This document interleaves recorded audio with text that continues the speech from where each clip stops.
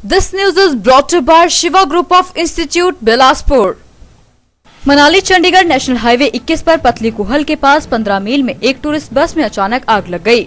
आग लगने से बस पूरी तरह स्वाहा हो गई है खुशकिस्मती ये रही कि बस में सवार सभी टूरिस्ट बाल बाल बच गए हैं हालाँकि वे सामान नहीं निकाल पाए। इस दौरान हाईवे पर भी अफरा तफरी का माहौल बना रहा। वहीं जाम भी लगा रहा।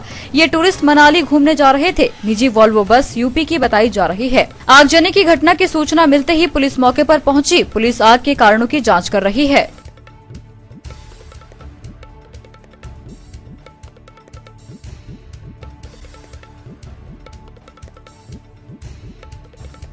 दिव्य हिमाचल वेब टीवी के लिए मनाली से आशीष शर्मा की report.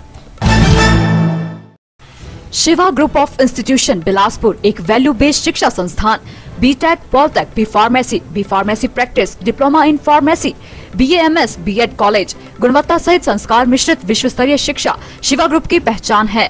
सालाना फ़ीस अन्य सभी संस्थानों से कहीं कम। कैंपस प्लेसमेंट में सबसे अग्रणी छात्र छात्राओं के लिए सुरक्षित माहौल। Hostel and transport facility available admission open सत्तर प्रतिशत ऐसी अधिक अंकों आरोप पाए आकर्षक स्कॉलरशिप देर न करें, आज ही संपर्क करें या फिर लॉग इन करें। Limited seats only